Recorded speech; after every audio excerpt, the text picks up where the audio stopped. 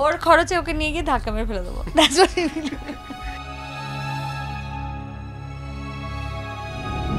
যে কারণে হিউমারগুলো তোর হজম হয় না কারণ তোমার হিউমার গুড নয়। আমার জীবনে আমি কন্ট্রোভার্সিয়াল প্রশ্ন প্রচুর পেয়েছি। ঝুড়ি ভর্তি আছে সিরিয়াল ছাড়ার অন্যতম কারণ বিক্রম দা। হ্যাঁ আমাদের পারলে আমাকে পাহাড়ে নিয়ে গিয়ে পাহাড় ধাক্কা মেরে ফেলে দেবে। টেক কেয়ারের কথা কি বলবে? ও তোর মনে হয়?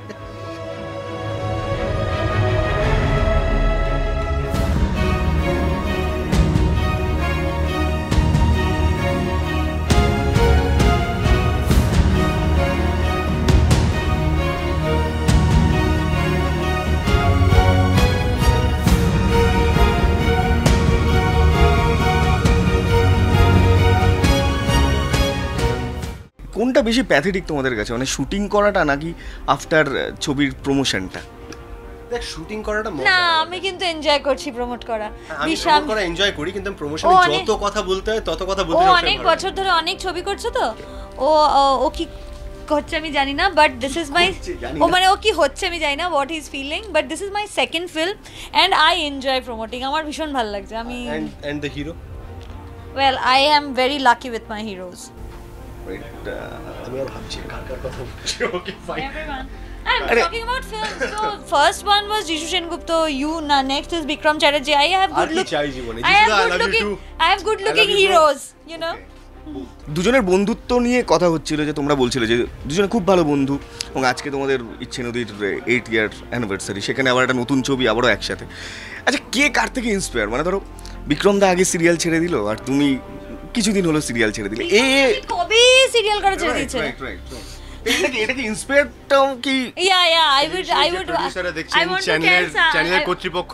আমি চ্যানেল কর্তৃপক্ষ এবং প্রডিউসার কর্তৃপক্ষকে জানাতে চাই যে I was inspired by him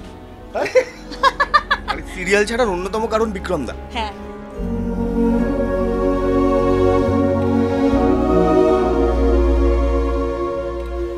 না না না। ছি ছি ছি আরে বেচারা।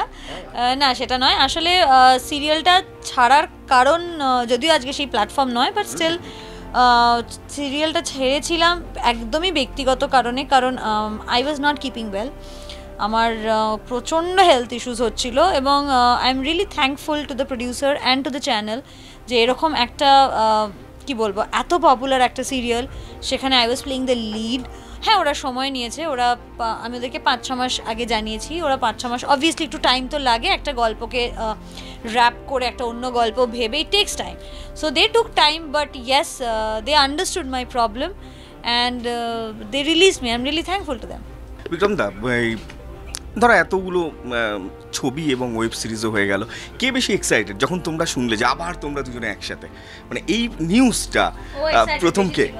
না আমি আমি খুবই এক্সাইটেড ছিলাম কারণ আমার সত্যি মনে হচ্ছিল যে আমার সোলাঙ্কির সঙ্গে কাজ করা উচিত বহুদিন ধরেই মনে হতো। আর গ্যাপটা অনেক দিনের হয়ে গেছিল। দু হাজার সতেরোয় আমরা ইচ্ছে নদী র্যাপ আপ করেছি দু হাজার বাইশে আমরা ষোড়শতম দিনে শ্যুট করি পাঁচ বছর। তো আমার- It's হ্যাঁ, আমার আমার সত্যি মনে হয়েছিল that really want to work with আর আমরা দুজনেই আমার মনে হয় খুব লাকি যে ষড়ষ্ণতম দিনের মতন একটা স্ক্রিপ্ট আমাদের দুজনের কাছে এসছে। ঋতবান অনিন্দিতা এই দুটো চরিত্র আমরা না করতে পারলে it would have been our loss Our loss, absolutely, it would have been our loss. I am totally in love with the characters and the script and the film এর থেকে বেশি আর কি বলব? আমি আজকে আসার সময় একটা কথা ভাবছিলাম যে টাইমিংস ফ্যাক্ট মানে শহরের উষ্ণতম দিনে। আর এখন উষ্ণতা দেখো শহরের।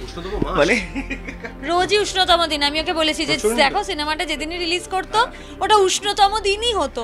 তার কারণ রোজই তো টেম্পারেচার বাড়ছে।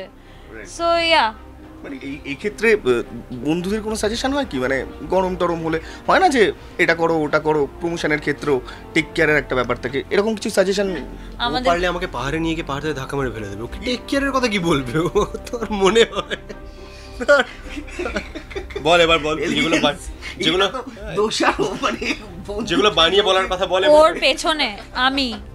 এখান থেকে ওকে পাহাড়ে নিয়ে যাওয়ার জন্য যে খরচটা হবে আই এম নট রেডি সেটা আমাকে দিয়ে করাবি তুই তো করবি না। হ্যাঁ ও করলে নিয়ে যাব। বিক্রম মানে ড্রাইভ করে যেতে চাই তো আমি যতবার ওর খরচে ওকে নিয়ে গিয়ে ধাক্কা মেরে ফেলে দেবো। দ্যাটস হোয়াট রাইট এতগুলো প্রমোশন হচ্ছে এত কিছু। আমার নিজেরও জানতে ইচ্ছে করে যে একই কথা তোমরা বারবার করে বলছো। মোস্ট বোরিং প্রশ্ন কি থাকে? মানে যেটা শুনলে উত্তর তো দিয়ে দাও। পাঁচ বছর বাদে আবার একসঙ্গে কাজ করে কেমন লাগছে? ও প্রশ্ন করেছে এটা। আরও একটা আছে আরও একটা আছে আরও একটা আছে। দর্শকদের কি বলবে? কি বলব আপনাদের বলুন? বলব তো সিনেমা দেখতে যান। আর কি বলব? বলুন এটাই তো বলছি। সেই কবে থেকে? প্রশ্নতম প্রশ্ন কি পাও? আমার জীবনে আমি কন্ট্রোভার্সিয়াল প্রশ্ন প্রচুর পেয়েছি। ঝুড়ি ভর্তি আছে। কার সাথে প্রেম করছি? কেন ব্রেকআপ হ্যাঁ, হয়েছে? হ্যাঁ, হ্যাঁ। আর যা যা তো ছাড় আর এখন আর কি বলব? বাট হ্যাঁ আমার আমার সারা জীবনে প্রচুর কন্ট্রোভার্সিয়াল প্রশ্ন আছে ঠিক আছে? আমি অভ্যস্ত। উত্তর দেওয়ার পর রিগ্রেট ফিল হয়েছে কখনো? মানে আমার ভালো লাগে। অনেস্টলি স্পিকিং হ্যাঁ। যদি খুব অফেন্সিভ না হয় see I take humour as humour Okay. I am that person I love good humour যে কারণে হিউমারগুলো তোর হজম হয় না। কারণ তোমার হিউমার গুড নয়। এবার পার্সোনালি তো কত ভালো কথা বলেছি বলল একটু দাঁড়াও আমাকে কথাটা বলতে দাও। যদি ভালো প্রশ্ন হয় ইন্টারেস্টিং প্রশ্ন হয় আমার উত্তর দিতে ভালো লাগে। কিন্তু কিছু প্রচণ্ড বোকা প্রশ্ন হয়। এবং অনেক সময় একটা বাউন্ডারি না ওভারস্টেপ হয়ে যায়। But yes people do ask questions which are appropriate এবং সেগুলোতে I don't react but I try to just bypass those questions কিন্তু আমার মজা লাগে। একটু ইনোভেটিভ তো হয় এটুকুই বেটার রাইট মানে প্রেম নিয়ে ছবি কলেজ প্রেম কলেজ লাইফ প্রেম। মানে জাস্ট দুজনের কাছে একটা নর্মাল প্রশ্ন। কলেজ লাইফে তো প্রেম তো হবেই খুব স্বাভাবিক। মানে প্রথম ক্রাশ প্রথম প্রেম। না নো কলেজ লাইফে ছিল না স্কুল লাইফে হয়েছিল অবশ্যই। প্রথম প্রেম কলেজ লাইফে হয়েছে একদম। ঠিক যেরকম ঋতবান অনিন্দিতার প্রথম প্রেম কলেজ লাইফে ঘটে ঠিক সেইভাবেই। একদম। মানে সেটা কতদিন চলে? তোমার? মানে ঋতবান অনিন্দিতা ছাড়া শুধু বিক্রমের। মানে আমার জীবনের প্রথম প্রেম দু বছর। দু বছর চার। চার বছর। তারপর? তারপর আবার নতুন প্রেম? হয়ে গেছিল। ব্রেকআপ হয়ে গেছিল কি করব আমি? ছবির যা নাম সেটা দিয়ে কিন্তু অলরেডি একটা গান খুব পপুলার মানে নিশ্চয়ই দুজনে জানো। গানটা এত পপুলার যে আমরা ছবির নাম ওটা রেখেছি বেসিক্যালি যাতে লোকে বুঝতে পারে। না না সেরকম ব্যাপারটা নয়।